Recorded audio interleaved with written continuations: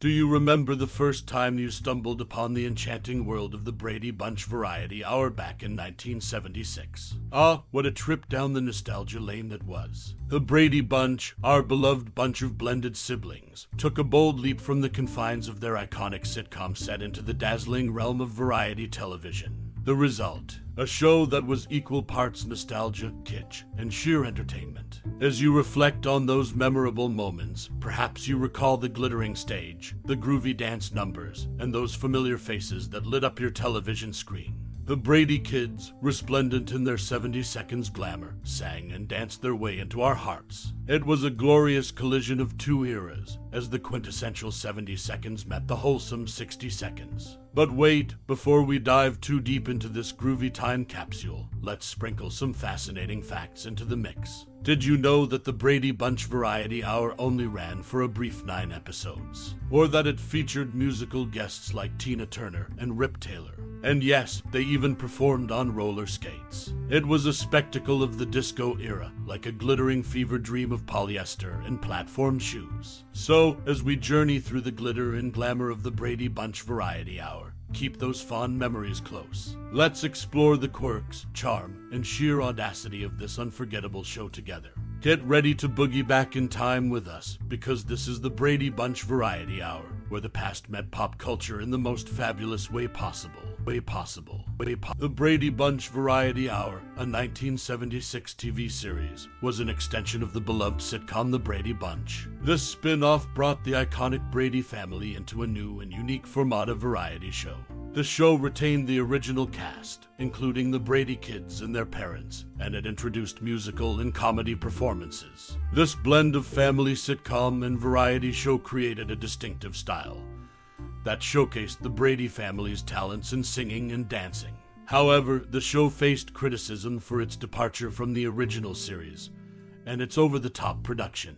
Despite mixed reviews, the Brady Bunch Variety Hour left an indelible mark on popular culture. It showcased the enduring appeal of the Brady family and became a cult classic, particularly for fans of the original show. The series reflected the 1970s fascination with variety shows, contributing to the era's entertainment landscape. In retrospect, it serves as a nostalgic reminder of a bygone television era and the enduring charm of the Brady family, making it a notable entry in the annals of television history.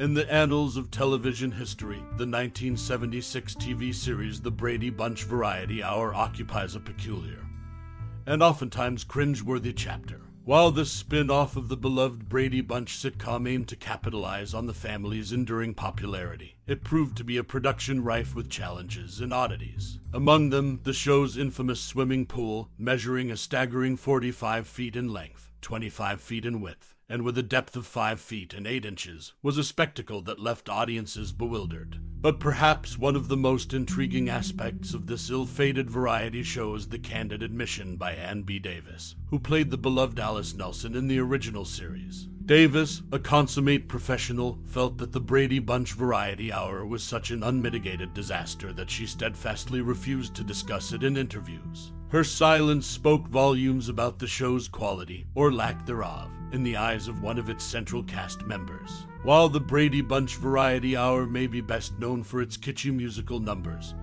and surreal guest appearances, the dynamics among the cast members added an unexpected layer of drama behind the scenes. Geri Reischl, who replaced Maureen McCormick as Marcia Brady for the Variety Hour, reportedly developed an overwhelming crush on her TV sibling, Christopher Knight, who portrayed Peter Brady. Their on set chemistry, fueled by Reischl's infatuation, added an intriguing subplot to the already bizarre production. In the end, the Brady Bunch Variety Hour was a short lived and often maligned experiment in television history. Despite its notable quirks and the enduring legacy of the Brady Bunch, this variety show serves as a testament to the challenges of transitioning beloved characters into new and unfamiliar formats. formats. In 1976, the Brady Bunch Variety Hour took an unexpected turn as it ventured into the world of variety television. This peculiar twist, however, was marked by behind the scenes drama, including the disavowal of the show's creator, Sherwood Schwartz. Sherwood Schwartz, the mastermind behind the beloved Brady Bunch series, stumbled upon the Brady Bunch Variety Hour in an unconventional manner. His son, Lloyd J. Schwartz, noticed the show listed in TV Guide, leading to an unusual discovery for the senior Schwartz. However, rather than embrace this new direction, Sherwood Schwartz distanced himself from the production, making it abundantly clear that he had no involvement with the show. This public disavowal by the series creator set a curious tone for the endeavor. One intriguing connection to the Brady Bunch Variety Hour can be found in the world of animation. The long running animated series The Simpsons once parodied the Brady family's foray into variety TV in an episode titled The Simpsons Spin Off Showcase. In the third segment of the show, The Simpson Family Smile Time Variety Hour, a character parallel to Jan was replaced, mirroring the casting changes on the Brady Bunch Variety Hour. This subtle nod to the Brady family's escapade underscores the enduring cultural impact of the original series. Among the cast, Christopher Knight, known for his role as Peter Brady, had an unexpected journey. Having left the Brady Kids singing group a few years earlier due to self perceived musical limitations, Knight initially had no intention of participating in the Brady Bunch Variety Hour. However, with the absence of Eve Plumb, who played Jan, the producers faced a quandary. In a bid to reunite the core cast, they promised Knight that his musical performances would be limited to the opening and closing numbers. However, this promise turned out to be a fabrication, and Knight found himself more involved in the musical aspects of the show than he had bargained for. The Brady Bunch Variety Hour stands as a unique chapter in television history, marked by the unexpected involvement of the Brady family in a variety show, the disassociation of its creator, and even a playful homage in the world of animation. It serves as a testament to the unpredictable nature of the entertainment industry, where even beloved characters can find themselves in uncharted territory. In 1976, the Brady Bunch Variety Hour took the television world by storm. But behind the scenes, the show was embroiled in contractual battles and casting challenges. One of the most intriguing aspects of the show's history revolved around Eve Plumb, who played Jan Brady. Eve Plumb's involvement in the show was initially limited by her father's wishes. She agreed to participate in the pilot episode and five additional episodes. However, the network had grander plans. They insisted on a 13 episode contract with a five year option pushing Plumb into a more extended commitment than she had initially intended. The drama didn't end there. When it came time to replace Eve Plumb as Jan Brady, the casting process saw a staggering 1,500 girls auditioning for the role. The competition was fierce, but in the end, two finalists emerged Kathy Hilton and Geri Reischl. It was Geri Reischl who ultimately won the part, stepping into the iconic role of Jan Brady. Behind the scenes, most of the cast members were well prepared for the show's weekly song and dance routines. The Brady kids had honed their choreography skills on set during the original show's run and even put on concerts between seasons. Florence Henderson, who played Carol Brady, had a professional singing background to her credit. However, Robert Reed, who portrayed Mike Brady, had a less graceful experience. According to Henderson, Bob had two left feet. This led to a decision to keep his choreography to a minimum, sparing him from the more intricate routines that the rest of the cast tackled with ease. The Brady Bunch Variety Hour remains a unique chapter in television history, marked by contractual negotiations, casting challenges, and the surprising dance talents of its ensemble. While it may not have achieved the same enduring fame as the original series, it certainly left an indelible mark on the world of television entertainment and entertainment. In the pilot episode of the Brady Bunch Variety Hour, a TV series that graced screens in 1976, the primary sets dazzled with a lacquered, gaudy, multicolored glitter. However, as the show transitioned into full production, substantial changes were made.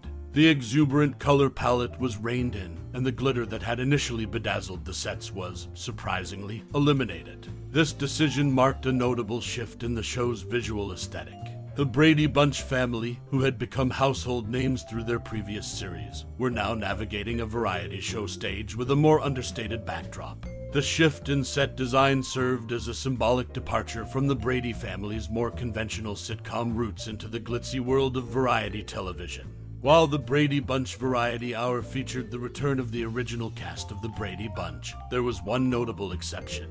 Eve Plumb, who portrayed Jan Brady in the original series, was replaced by Geri Reischl.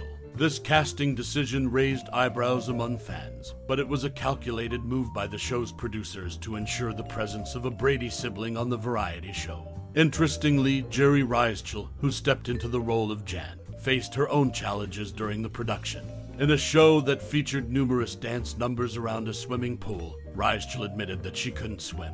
This created a palpable sense of nervousness for her, as the potential of falling into the water was a real concern.